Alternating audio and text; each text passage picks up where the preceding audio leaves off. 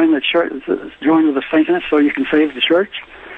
But and, and one of the members. That's a very interesting point. You're raising a germane point because most people don't understand that this Pope, it, it, whether or not he wear, I don't know what he wears or reads. The man is espousing naked Marxism. Everything he says is out of the uh, is out of the book Das Kapital by Karl Marx in populist terms. So he is a communist through his rhetoric.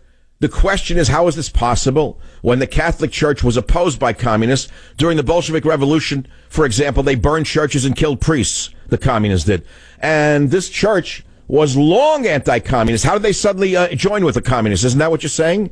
Yes, but this is not the church. It says right in the Bible that there will come a time when there will be a false church. And uh, one of the members, for example, was telling me how uh, he says, we're going to change the church. So Sorry, you're breaking up. I don't mean to interrupt you, but when people can't hear you, they, they'll turn my show off. We're getting a lot of callers right now, as we, we usually do at this time, as the show comes to an end and people realize that there's no Savage now for 21 hours after I leave. And they turn the radio off to either watch television or make dinner for their families, go about their daily business. Uh, they want to get on the show, so they're lining up. I don't know how to summarize today before we take a break and come back for the last round of today's battle with the realities of the world. I don't know how to summarize what's going on in the world right now other than to say, uh, are you perplexed? Are you perplexed? Because you're not alone. If you're really a person who has a reasoning mind, you have to be perplexed by what this monster is doing to America and the world.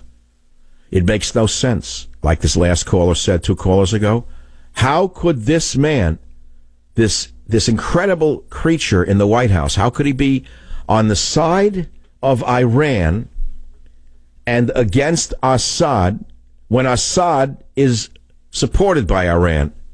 And Iran's troops are actually fighting anti-Assad rebels as we speak in Syria. Assad's troops will be joined by Russian troops and Iranian troops against all of the anti-Assad elements, which would include which will include some of our own troops fighting besides them, incidentally, and have been for a long time, surreptitiously, surreptitiously, uh, according to all sources I have read. Which side are we really on? Does anyone really know who's running this country? Is the country schizophrenic? Is the leadership totally berserk? That's why you're perplexed. That's why you're perplexed. It's that simple. Let's take a caller on the, uh, any of these topics. KCMO Radio. Tom, welcome to the program. What's on your mind?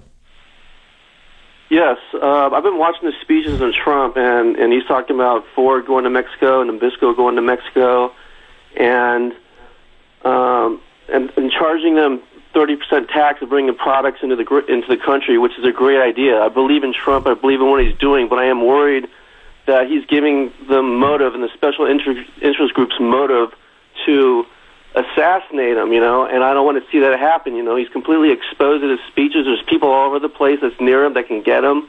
I want him to live. I want him to be able to lead our country. To uh, to no, you're raising an issue I can't even address because we're all worried about a man as honest as Donald Trump. All the rest are a pack of liars, and they're surrounded by by by agents and Secret Service on the Democrat side. No one can get near them. I'm I'm very concerned about Donald Trump's bluntness. I'm concerned about his family's safety. I certainly am. And we have such enemies of the truth that everyone should be concerned for this man, even the haters. But you know, the haters would cheer uh, anything that happened to him. You know that, don't you, Tom? Exactly.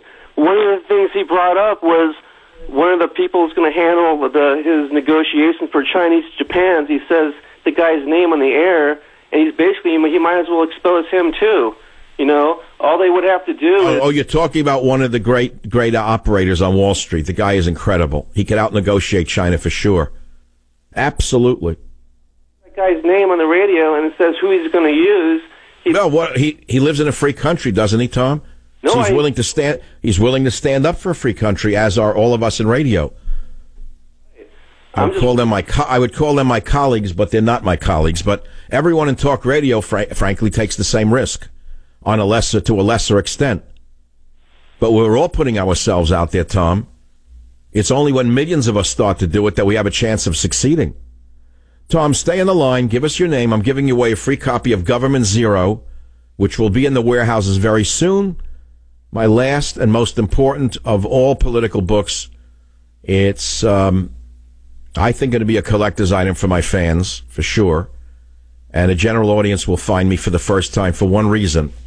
The title is so compelling. They can walk into a bookstore, it's going to be everywhere because its uh, first printing is 150,000 copies. Mark that down in San Francisco. 150, comma 000. 150,000. Now compare that to the average book published, uh, written by a, a, liberal. They print probably three or 4,000 copies. A novel, maybe 300. A San Francisco author, maybe they print 30 copies to give, to give away in coffee shops in the Mission District. So Michael Savage, they're going to print 150,000 copies. It's going to be in every store in the country late October.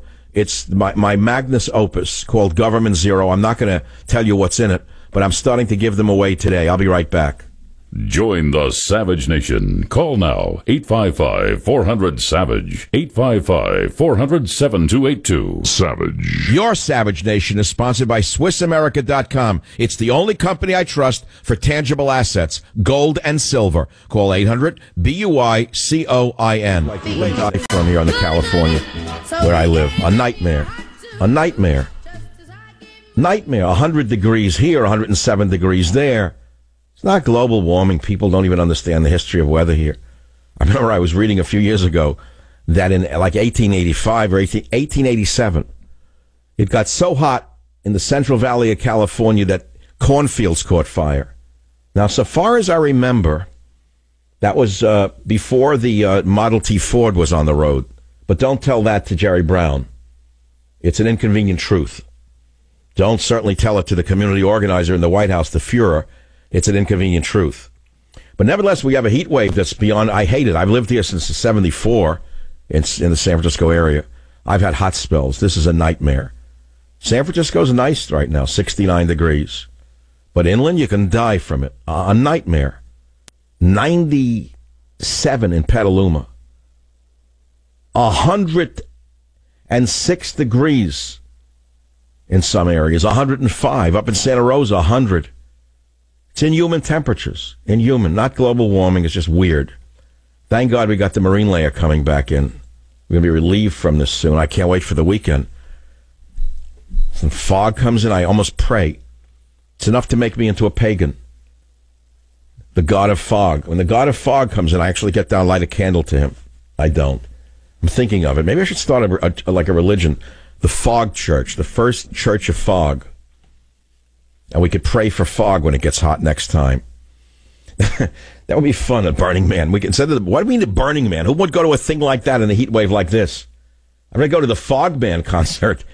That's the one I want. I want to lead the Fog Man concert. Santa Cruz, a once great place. What they did to it, the liberals. You can't even go there. And you can't even go to Santa Cruz. You take your life in your hand. Gilroy, the uh, garlic capital, 106 degrees. Garlic likes heat.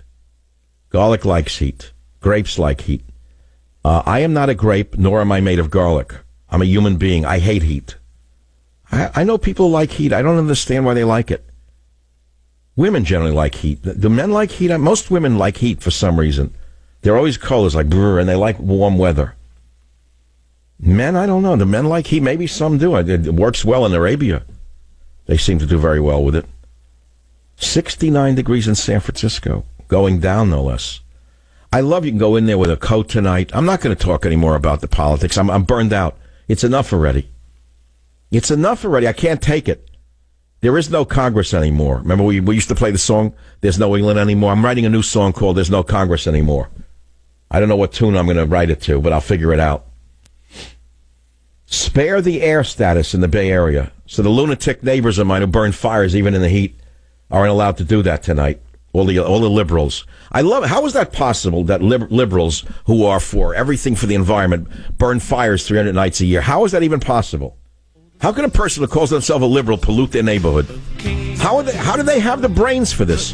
They're giving themselves and their children cancer. The neighbors don't exist for them. Yeah, there's no Congress anymore, right? I get it. That's a great song by the Kinks. I hope you enjoyed the show. If you didn't, you're sick in the head. Come back for more tomorrow. It's the Savage Nation.